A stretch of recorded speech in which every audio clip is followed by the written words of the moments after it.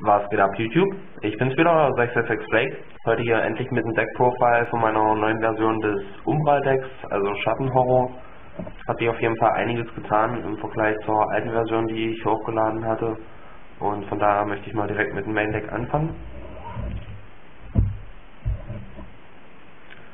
Wir spielen einen Black Luster Soldier und einen Chaos Hexer weil wir genug Licht- und Finsternismonster drin haben und die auf jeden Fall sehr geile Effekte haben und schnell mal für Game sorgen können.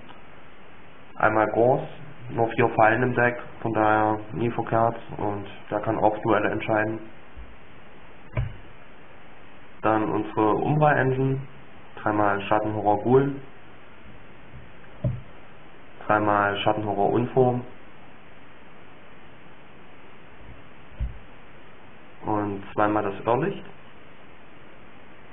Sind alles Ziele für Chameleon und Druide Drew, haben alle null Defense und sind Finsternis, von daher auch Verlockungen im Deck drinne und gute Chancen auf den Key Beetle zusammen mit der Safe Zone, geile Combo.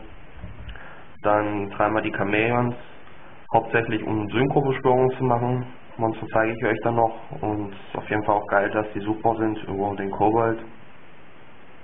Dreimal das Chameleon. Dreimal der Druide Drew. Der ist auf jeden Fall richtig nice, denn der kann uns auch alle möglichen Umbral-Monster vom Friedhof holen und hat nicht die Einschränkungen, die das Chameleon besitzt, dass man das Chameleon, das darf man ja nicht beschwören, wenn man Monster mit 5 Sternen oder mehr besitzt und kann in dem Zug, wo man es beschwört, das Chameleon auch nur Monster vom Extra-Deck specialen. Die Einschränkung hat der Drew nicht, von daher ist auf jeden Fall gut fähig. Auch Finsternis für einen Key Beetle. Dreimal Secret Sect Druid Drew. Dann haben wir dreimal einen Kageto Kaga drinne. Der ist natürlich auch super über den Kobold und erhöht auch die Chancen auf Master Key Beetle.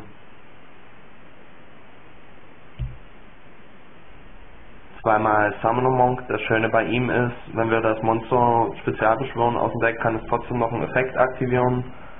Holen zum Beispiel einen Ghoul, der noch einen Schattenhorror spezial beschwört. Oder einen Gräfer oder einen Armageddon-Ritter, die hier auch im Deck drin sind. Kann zum Beispiel auch einen Raio holen. Macht man ganz einfach ein Overlay zum Laval by Chain dann. Detach den Raio und sucht sich einen Black Luster Soto, den man sich aufs Deck legen kann. Von daher zweimal hier Monks drin. Einmal Armageddon Ritter und einmal Finster Gräber. Hauptsächlich dafür, um auf jeden Fall Ziele für Chameleon und Drew im Friedhof zu haben, also um Schattenhorror-Monster im Friedhof zu knallen. Und um den hier im Friedhof zu knallen, den Gira-Stack, den spiele ich auch einmal drin. Stahlschau Gira-Stack mit 7 Sternen Ganz einfach, weil er unser Eintrittsticket in den Deck zum Star Eater ist. Ist auch eine kleine Combo, die ich euch dann noch präsentieren möchte. Einmal der Slasher Girastak, dann einmal Rai-O. Ist ganz einfach ein Lichtmonster, hat einen geilen Effekt, kann viele Decks aufhalten. Ist ein schönes Ziel für Monk, halt um Lichtmonster im Friedhof zu haben. Und das Aldi, genauso wie der Photon-Thrasher, der hier drin ist. Der ist hauptsächlich auch unser drittes Ziel für die Reinforcement of the Army, der ein Krieger ist. Und auch ein Lichtmonster für BLS und Chaos Hexer, nicht verkehrt. Drei Rykos gegen Emptiness und Ophion, alles mögliche. Auch Lichtmonster und können auch ein paar schöne Light- und Darkness-Monster im Friedhof knallen. Ziele für Chameleon und Drew. Von daher dreimal der Ryko einmal Charge of the Light Brigade, um Rico rauszusuchen. Eine Rota sucht Armageddon Ritter, Photonentrescher oder Finsteren Gräber. Einmal Variance Force, Eintrittskarte zu Utopia Ray V und zu Schattenhorror Maskerade.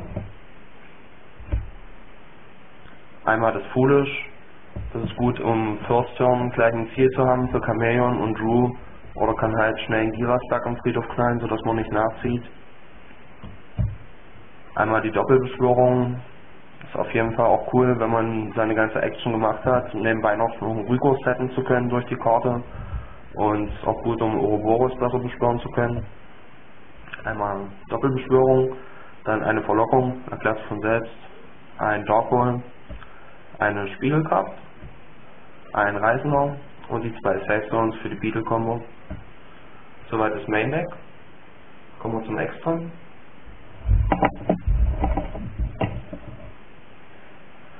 Und zwar spielen wir da einmal den Star Eater, von dem ich gesprochen habe, ein Star Dragon, zweimal Dark End Dragon, sehr sehr geiler Effekt, Beschwörer über Chameleon, zweimal König der wilden Kobolde, sucht Chameleon oder Kageto Kage, ein Utopia für Utopia Ray V, kommt dann über Barbarians Force, sehr sehr broken der Effekt,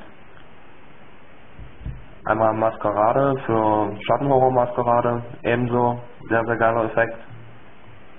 Einmal Lavala Chain, zum Beispiel BLS auf Speculate.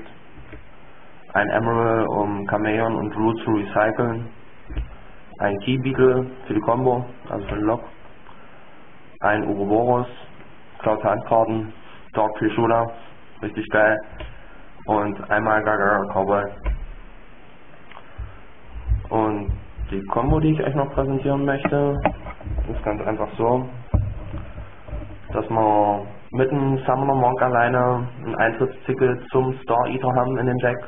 Wir beschwören den, geben Defense, aktivieren Effekt, werfen eine Zauberkarte ab und beschwören aus dem Deck einen Armageddon Ritter, der uns den Gira-Stack vom Deck ins Friedhof legen kann.